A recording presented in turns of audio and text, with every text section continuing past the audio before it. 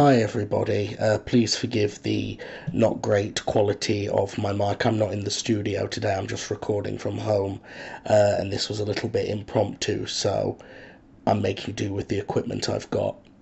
Uh, this is Jamie Evans, the creator and co showrunner of Haunted the Audio Drama, and I wanted to drop you guys a quick message to, first of all, say a massive thank you to each and every one of you, those of you who have been with us since the show launched in March of 2022, those of you who've discovered us along the way, even if you've only discovered us recently, whether you went back to the beginning of the show and started from scratch, or if you've just picked things up in recent weeks, thank you, every single person who has listened to this show. When we started this show, we we always had high ambitions for it, but we we were quite restrictive on those ambitions. Uh, I think because either we had a lack of confidence in ourselves or we were trying to be realistic, uh, which I know is a, a terrible word when it comes to creativity. We thought we would get some somewhere in the range of 10,000 downloads in the first season. Uh, which is not a lot when you consider that the first season of Haunted is something like 36 episodes long. So 10,000 really isn't that much. The fact that our audience has continued to grow, and particularly in the last two months has grown quite substantially, is incredible, amazing. I fail to come up with the words to adequately express how thankful both myself and Benton are to everyone who's giving this show a chance. There is nothing more rewarding as a creator than people listening to or viewing or reading or whatever your medium is, people consuming your stuff and engaging with it. It absolutely blows us away every time someone contacts us on social media and makes an in joke about the show or references a part that they really liked and believe it or not, we even like the we even like the feedback that's more critical. I think there's sometimes an assumption that people don't want to hear negative reviews and things like that. Maybe some people don't. Um, for us, the the difference has always been between feedback that is constructive and feedback that's needlessly nasty no one needs needlessly nasty feedback. But when people are actually just giving their opinion and, you know, saying things like, this bit didn't quite work for me because of X, Y, and Z. I, I think I can speak for most creatives when I say people love to hear that. Anyway, that was the first thing I wanted to do was just say an absolutely incredible, heartfelt thank you to everyone. It is a privilege to be able to make this show for you. And I know that probably sounds weird because it's a lot of hard work and we don't get paid for it and it's it's huge amounts of time out of our lives.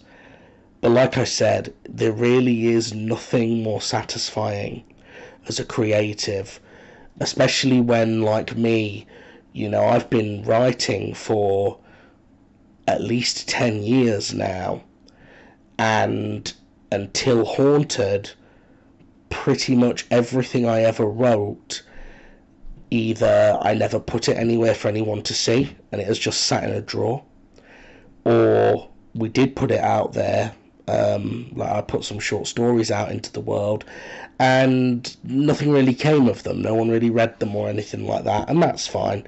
That's fair enough. It's an incredibly competitive market, and there's such a, a wide a variety, uh, a cornucopia, dare I say, of content and amazing, amazing works of creativity. Um, that it really is a privilege just to have people listen. So thank you for that. What I also wanted to do was tell you a little bit about what you can expect when the show returns from its mid season break.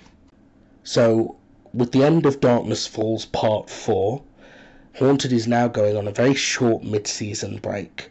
It will be returning on the 1st of October. The general public, it will continue to release as the standard format that it currently releases in.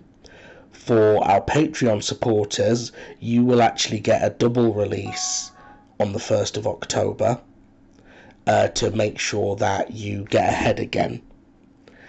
The show returns with an episode written by Benton called Triptych. Uh, Triptych is a very interesting episode. It's our first Dan centric episode.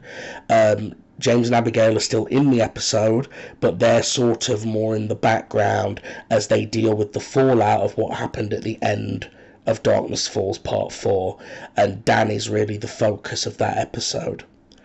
That is then followed by our third and final guest written entry for season two, The Dark Menagerie, written by Aidan Barker Dean. Uh, that is an all out, just insane uh, bottle episode. It's all confined to one location for the most part, uh, a small cast of characters and I can't really say much about it without spoiling it, except that it is probably the most extreme episode we've ever done of the show. It's the first episode we've ever done where we uh, we think we're actually going to have to put trigger warnings at the front of it because some of the content in it is very uh, pushing the envelope, let's say. Following this, is The Cry of the Abyss, written by myself. Uh, this is an episode that you definitely don't want to miss because it provides a lot of the next set of clues in the ongoing mystery at the centre of the show. A lot of clues towards Project Indigo and James Hunter's past. The show will then go on another very brief break just over Christmas. We figured you guys probably needed a little break over the Christmas bank holiday uh, for uh, from horror and gore and things like that. In early January, the show returns again with the Death of the Author, written by Benton. Again, it's a fantastic episode. I'm very, very proud of that episode. Um, I, I know Benton is as well. It's a fantastic script, and I can't wait for you all to hear that one. The show then rounds out with two episodes that follow on back to back from each other The Children of Little Hope and End of the Road. Uh, together, that's eight parts that basically forms the end of season two. Uh, everything that we've been building in season two will come to a head at that point. Um, the gang will confront Mother Marwood again, and we will get the truth behind Project Indigo. I can't say anything beyond that at this point, uh, other than to say that there are plans in place um, we, unless something terrible happens, unless all of a sudden everyone decides they don't want to listen to the show anymore, we 100% intend to go beyond season two. But that's just to give you an idea of what you can expect when the show returns.